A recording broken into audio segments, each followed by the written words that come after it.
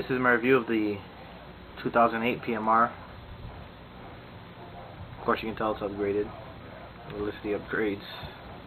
Smart parts on off, Shocktech drop forward,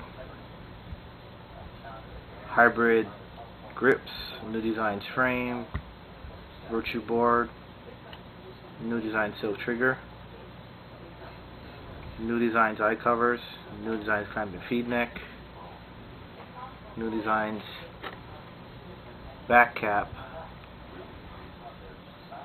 which really makes it easy on taking the bolt out back removal.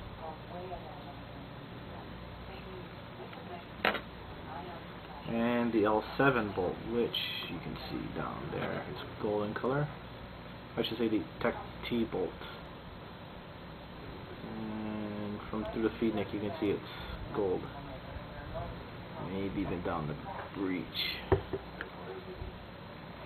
You can kind of see it.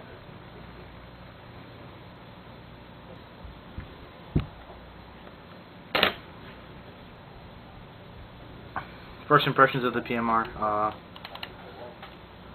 the plastic frame and trigger, I, it just had to go. Um, trigger sucked. The frame was alright, but you know, I got a good deal, so I did the whole upgrade. Um, so this particular frame, wide trigger, um, definitely bigger trigger guard. Uh, it's actually uh, supposed to be lighter than UL frame. Uh, you can see my vids, trigger's pretty quick, no bounce. Um, Hyper 2 reg, uh, it's alright. I mean, I've seen better. Um, of course, ramping at, you know, the video I have of it shooting quick quite a bit of drop off of this rig, but you know the field limits now of uh, the what the limits are what 13 M, um, PSP now. It'll keep up with that just fine.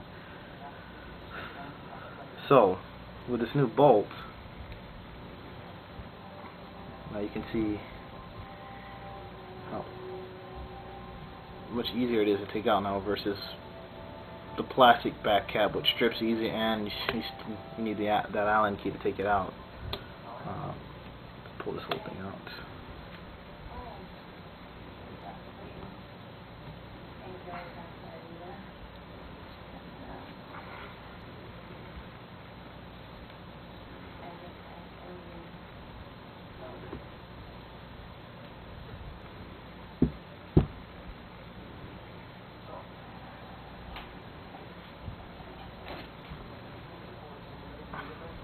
Um,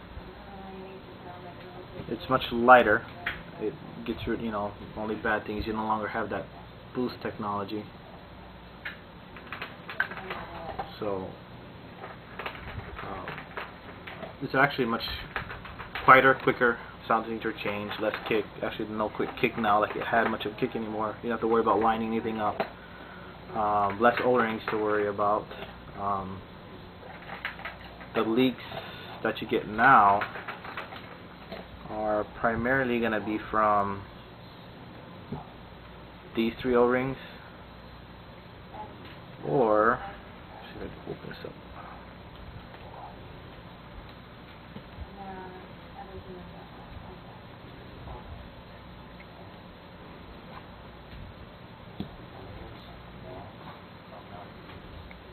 I can't take it out. But the those three, the tip of the bolt, the back of the bolt. There's another one right inside the top hat, which uh, the one on the inside. Um, if that goes, you'll have uh, problems with this, uh, say, marker sealing or returning back to fire position. You'll, you'll have the tendency for it to get stuck forward by assumption, but um, with this, uh, we'll get about three more pods of paint. So, uh, was it worth it? Not really. Uh, it's just different, quiet, you know. Okay, as you noticed, uh, with all my markers, uh, have a tendency to want to be different.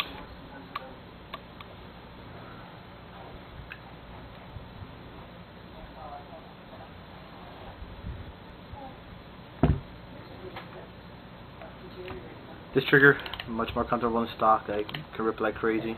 Virtue board, uh, fast as can be. All the settings you could possibly ever want. Uh, pretty easy to set.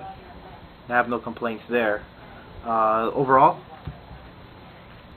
another uh, entry-level marker. Um, in its price range, uh, the Ion feels better stock.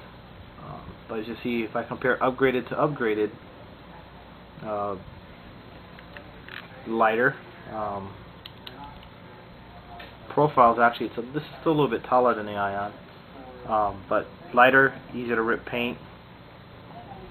Maintenance wise, uh, this has less maintenance. Diagnosing wise, the Ion is much easier to diagnose when there's a problem. Um, so this takes a little bit uh, more. It's not. It's another one. Uh, everybody calls it a noob marker. It's not.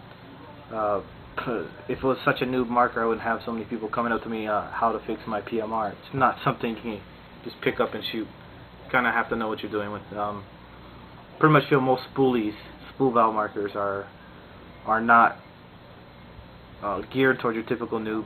Uh, they're a little bit more higher maintenance and whatnot. Uh, if you're just your occasional player and you just want to pick up and shoot, and not worry about maintenance and whatnot, you're better off with a stack tube design marker or uh, you know those blow forward, blow back markers, um, like Tippmann, Spyder, Ego, um, Legend, Intimidators. You're better off with that than a spool type. Rating upgraded. This is definitely I probably rate this guy at 10. Um, air efficiency is not the greatest, but with today's type of uh, fast play and whatnot, if you're front to mid, good marker, bad marker for a back player. Uh, ball on ball, uh, can't go wrong. Any questions? Hit me up. Need a walkthrough on installing upgrades or simple maintenance, uh, breakdown, whatnot, go ahead and hit me up. Any questions? If you want me to shoot more videos uh, shooting this marker, whatnot, just hit. Uh, I'll probably, obviously, on board. I'll probably end up doing that too. Um, 2008, Proto Matrix Rail. Uh, definitely. Definitely a good buy. Comfortable, easy to shoot. I mean, uh, all your features are off the back of the marker. Um, you know, on and off, and turn your eyes off with this button. So definitely um, go to get one and try it.